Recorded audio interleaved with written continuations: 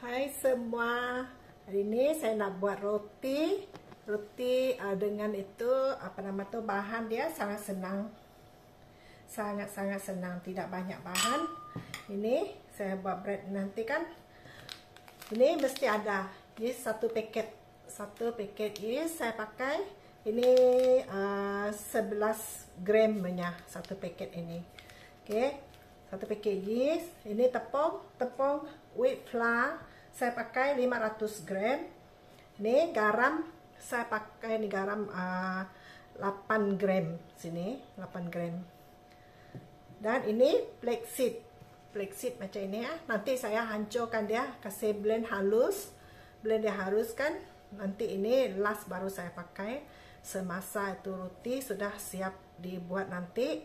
Uh, kita mau bakar ya baru kita pakai ini. Nanti saya blend halus ini ya air ni 400 ml air.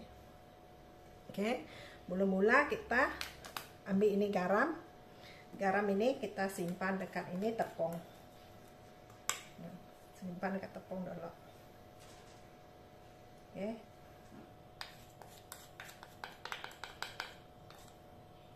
ini sangat senang dan mudah dibuat. Ini di sini campur saja sini satu kali. Kalau mau campur dekat air ni tunggu itu yeast itu dia mengembang pun boleh. Tapi saya campur sini sekali. Kalau uh, kamu orang punya ini sudah lama kan simpan terlalu lama mesti mau coba dekat air dulu tengok dia masih aktif ke tidak. Kalau dia tidak mau berbuih itu artinya itu yeast sudah mati tak boleh pakai lagi lah. Sudah tidak aktif lagi. Ya tapi ini baru punya. Saya pasti dia masih bagus punya sebab ini baru punya. Oke okay. campur dia macam ini. Sangat senang ini buat roti ini. Bila-bila masak pun boleh buat banyak. Bahan tidak banyak. Kalau ini plastik tidak kalau tidak ada tak perlu pakai bijan pun boleh. Oke okay, kita simpan aja air. Ini jangan simpan habis air. Saya pakai sedikit dulu mau tuang terus habis pun boleh juga. Ini memang cun sukatan dia.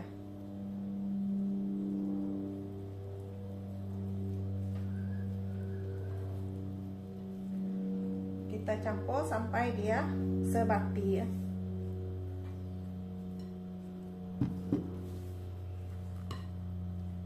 Kita perlu guna tangan nanti sebab adungan kalau sudah dia sudah mengeras kan kita mesti pakai tangan. Pastikan tangan dicuci dulu ah sebelum uh, campur ini. Okay. nih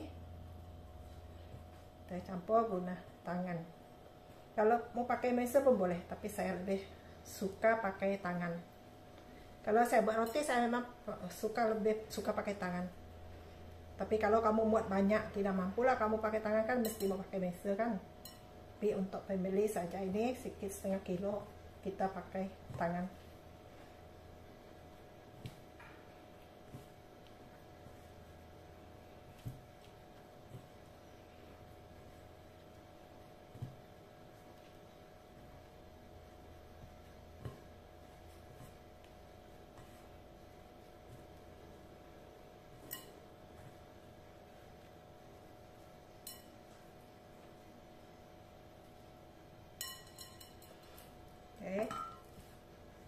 kita campur sampai sebati ya.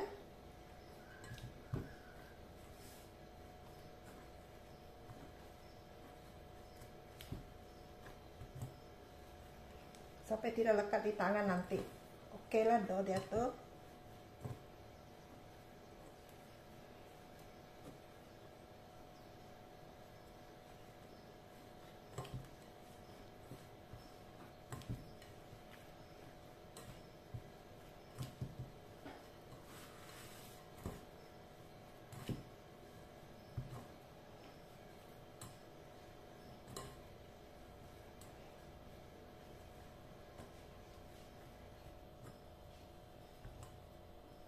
kita tidak perlu campur dia betul-betul itu do sudah itu melembut sebab nanti kita mau boleh lagi.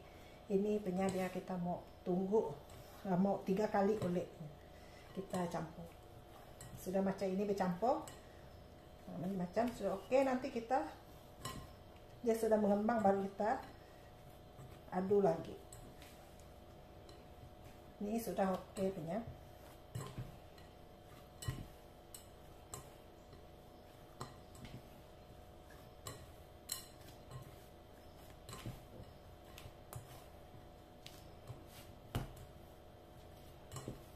ini cukup lembut ya.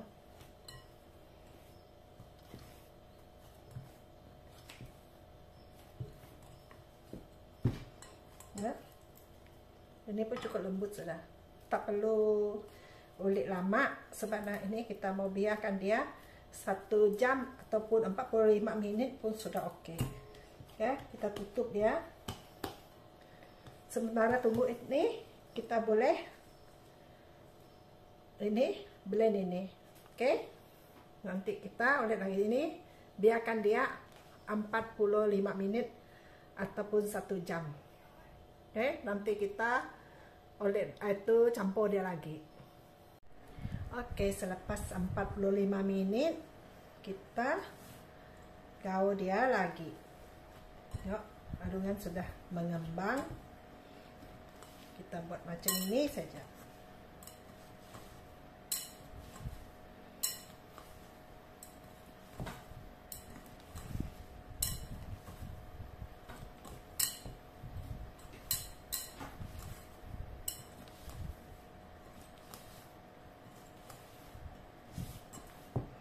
dia lebih halus.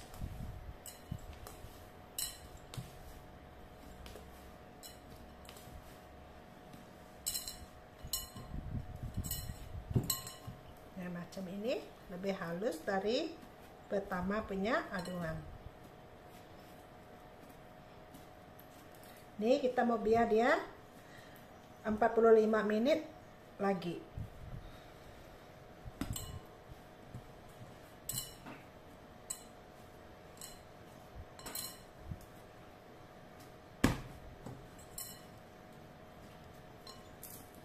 dia lebih halus dari pertama tadi. Lebih lembut.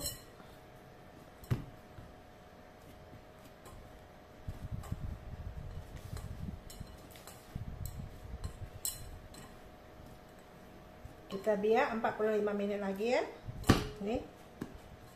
Biar dia 45 menit lagi. Oke. okay. Oke, ini sudah uh, 45 menit lagi. Nah, sudah mengembang macam ini. Kita kasih apa nama tuh? Kasih mau bagi ini aduan kepada dua. Kita mau bagi dia kepada dua bahagian. Saya buat dua. Satu saya pakai flexit dan satu lagi saya pakai. Saya biasa satu biasa saja.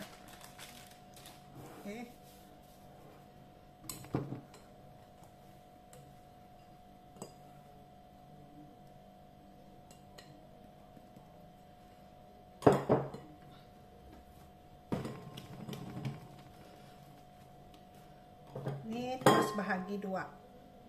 Kalau tak ada penimbang agak-agak pun boleh. Kalau ada penimbang timbang dia lah timbang dia kasih um, ya, ah, timbang satu dolar empat tiga tiga. Empat dua ambil sini sedikit oke. Kita bahagi dua sudah. Kasih empat tiga. Satu adungan empat puluh 430 Oke, yang satu kita campur itu black seed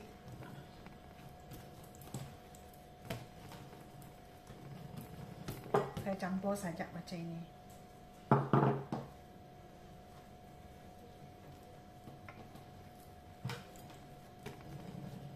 Sebab tadi tidak dapat campur sama kan? Saya campur macam ini ini flaxseed 30 gram. Mau dia bercampur saja dalam itu.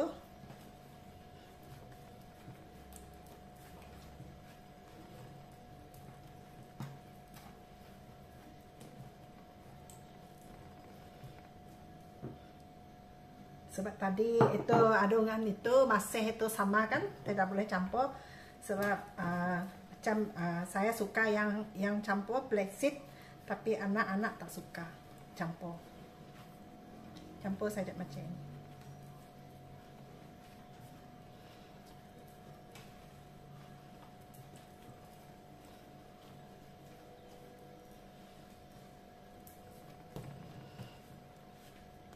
kalau semua suka flaxseed boleh uh, campur satu kali lah. Tadi masalah tadi boleh campur. Tapi kalau tidak suka kan uh, uh, sendiri uh, kalau tak suka bagikan anak-anak. Takut anak-anak tidak suka kan? Saya suka bijirin punya anak tidak suka.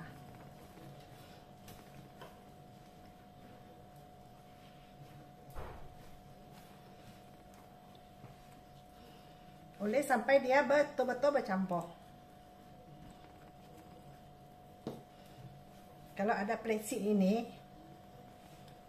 budak memang tidak berapa suka plexit ini bagus dia dia uh, high protein bah dia macam itu apa nama tuh? Macam uh, chia seed juga. Tapi plexit lebih tinggi protein dari itu chia seed. Itu aku suka itu plexit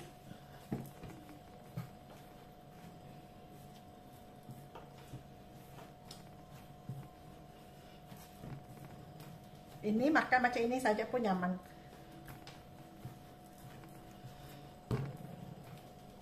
oke sudah betul-betul bercampur ini macam ini. Memang sedap ini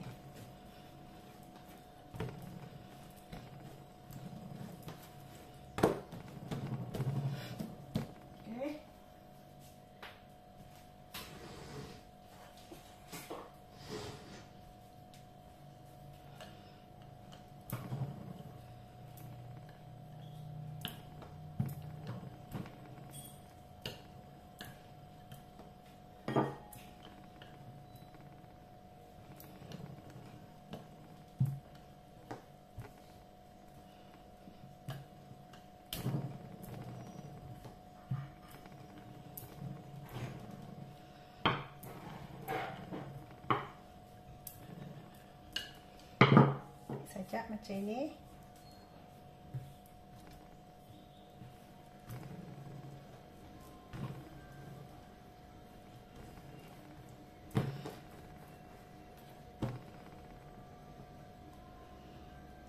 Saya sangat suka roti ini. Kalau pagi untuk sarapan ataupun untuk dinner kalau yang tidak mau makan uh, nasi kan makan roti saja pun boleh. Roti ini dia high protein punya saya pakai wheat flour yang high protein ini. Oke. Okay. ini saya pakai guna spray ini. Kalau guna ini lebih senang. Dia memang 100% tidak melekat lah.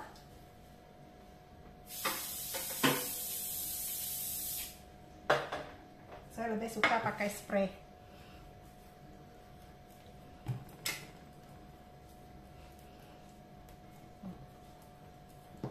ini memang sedap nanti.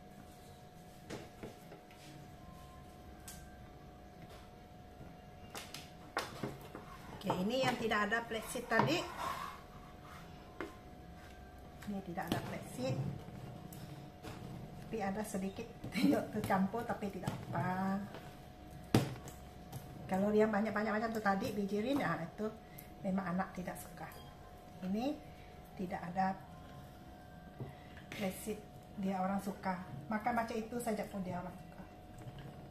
Kalau pagi goreng itu telur simpan pun dia orang suka. Kalau roti itu sudah overnight kan? Besok kalau uh, apa tu ada daging itu cincang. Kita cincang itu daging daging cincang tuh kan? Kita goreng dulu dengan sayur apa kan? Nanti lepas ya kita simpan atas roti dan kita bake ya ataupun simpan cheese. Itu budak-budak memang suka. Ini ada sedikit plastik di sini tapi tidak apa-apanya. Kalau sedikit macam itu terkena dia orang tidak kisah punya. Jangan yang banyak. Kalau banyak-banyak itu dalam memang dia orang tidak mau. Ini terkena itu tadi sebab ini ini ada bijirin sini tadi.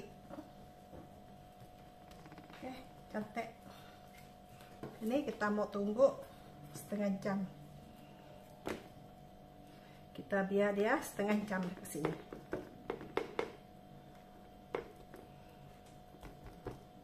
Yang ada plexi itu dia lebih lebih uh, apa nama tuh me, apa nama lebih pekat kena itu plexit plexit itu pun dia apa nama tuh dia creamy kalau kita uh, blend dia.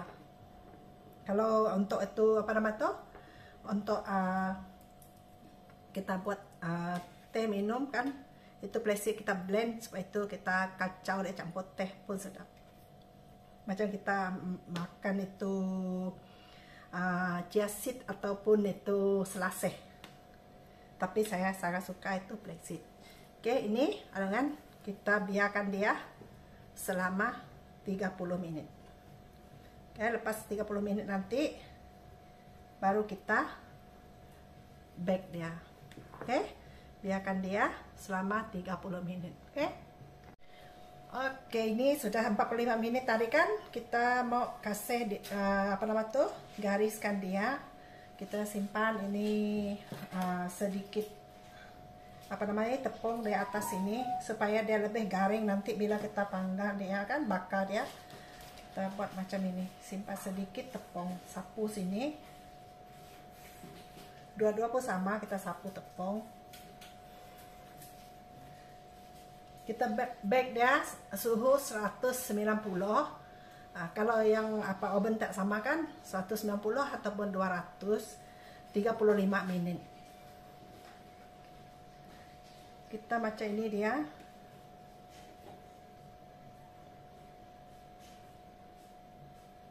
Kasih itu garis macam ini. Kalau uh, roti itu lebih panjang agak-agak uh, satu inci uh, satu inci setengah ataupun dua inci macam ini kalau roti itu panjang akan saya lebih sedikit lah garis dia itu supaya dia tidak pecah di tepi nanti kalau kita buat macam ini. Kalau tidak buat macam ini dia akan pecah di tepi nanti. Satu inci setengah ataupun dua inci buat garis macam ini nanti dia bila dia mengembang kita bake dia kan dia tidak pecah di tepi.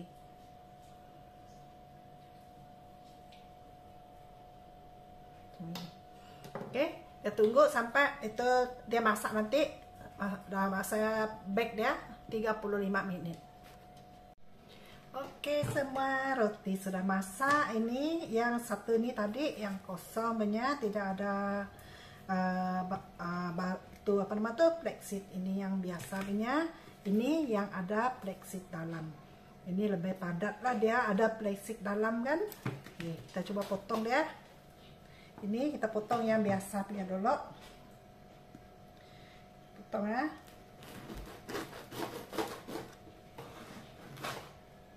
Oke, begitu lembut kan? Nah ini sangat lembut dan crispy sama nah. Lembut dan crispy. Dan ini yang uh, ada plexit tadi.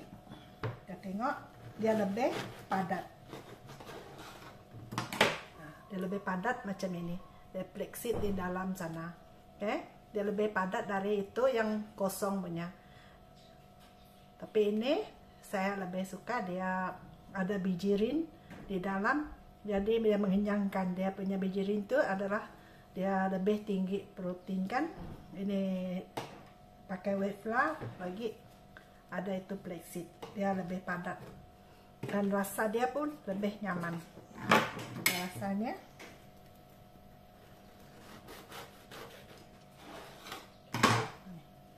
Macam ini. Dia sangat lembut kalau ini pun sama.